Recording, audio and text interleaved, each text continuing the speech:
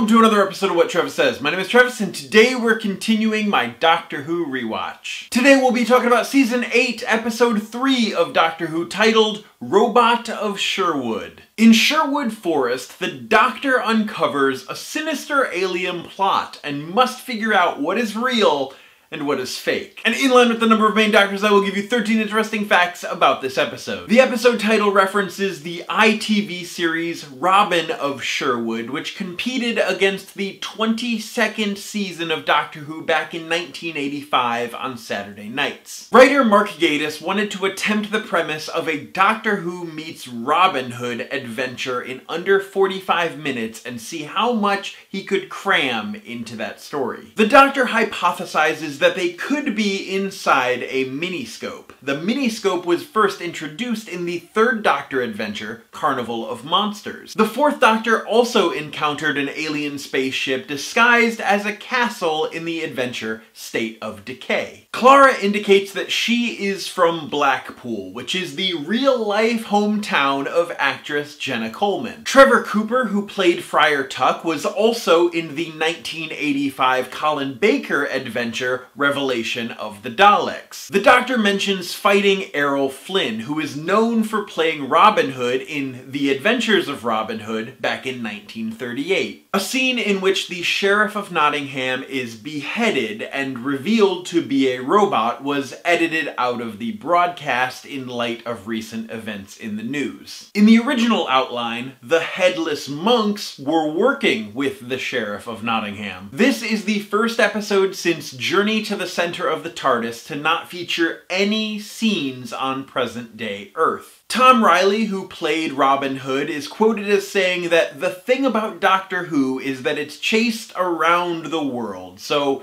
there are 50 fans of Doctor Wherever he goes. Peter Capaldi's 56th birthday was celebrated during filming for this episode, and he was presented with a Dalek-themed birthday cake. This marks the third televised story where the TARDIS is shot with an arrow, the others being Silver Nemesis and the Shakespeare Code.